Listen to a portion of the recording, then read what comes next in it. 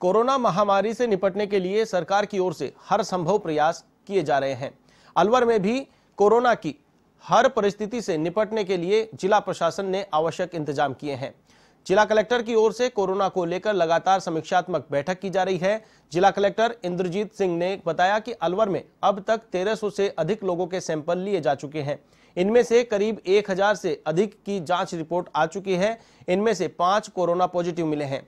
वहीं एसएमएस में भर्ती इन पॉजिटिवों में से कई स्वस्थ भी हो चुके हैं।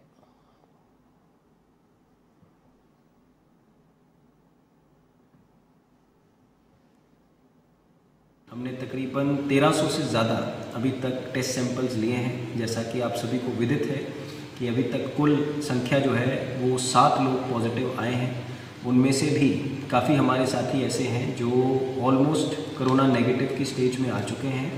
और उनको बहुत जल्द एसएमएस अस्पताल प्रशासन द्वारा घोषित करते हुए आधिकारिक रूप से उनको वापस भेजने की तैयारी चल रही है। उसके साथ साथ जिला प्रशासन को तकरीबन क्वारंटाइन की व्यवस्थाएँ सुनिश्चित करने के लिए कहा गया है। तीन हज़ार बेड्स जो हैं हम लोग क्वारंटाइन के लिए मेंटेन कर रहे हैं। एस अपने स्तर के ऊपर उसके नोडल अधिकारी हैं।